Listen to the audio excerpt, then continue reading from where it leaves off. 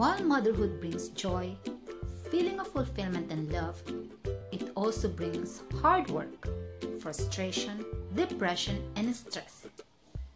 Hello, this is Fanny with you, and today I'm going to share some tips on how to manage stress with a newborn child. But before that, let me invite you to subscribe to my channel and turn on your notification for my new videos mother, it is very important that we are physically, emotionally, and mentally healthy so we can perform our duty and enjoy the blessing of motherhood. But there are few things that we cannot control, like the first two months when the baby is born. There will be a lot of crying and sleepless nights. That is when the baby is trying to adjust with a new environment. Those tiring nights and noise eventually irritate us leading to depression and stress. I myself was experiencing the same way, so I thought of something that could help me save myself from stress.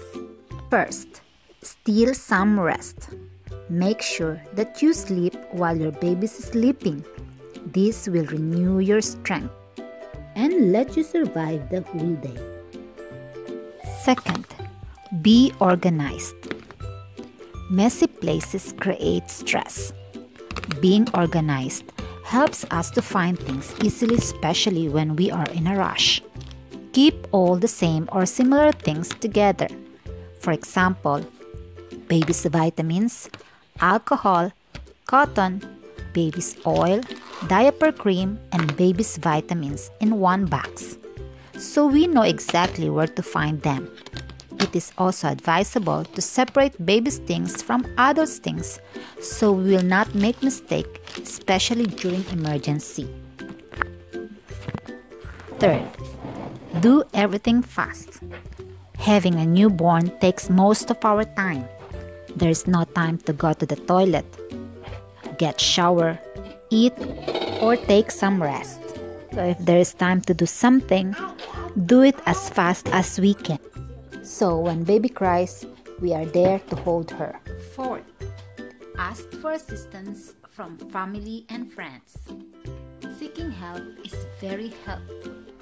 Don't be shy to tell your family and friends that you need them. For example, you need some rest. Call your family or friends and ask them to take care of your baby for 2 to 3 hours so you can sleep. Last but not the least, talk about your trouble and ask for advice. Some of us think that we are doing things right, but actually, no. Don't be afraid to talk about your trouble and ask for advice. It will really help. So that's all. I hope this will help every mom who are struggling with their newborn child. If you think my video is helpful, Please don't forget to like and share. Have a good day. Bye.